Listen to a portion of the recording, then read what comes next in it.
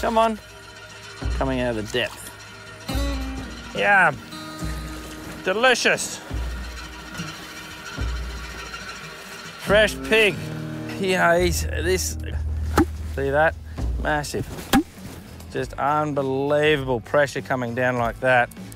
And you do not, like a tic tac.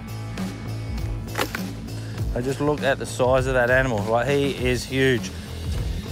That's a normal leg of ham that you'd have for Christmas that would last you for uh, a month or so. For him, it lasts him about three or four days. As a kid, I wanted a uh, eight foot python.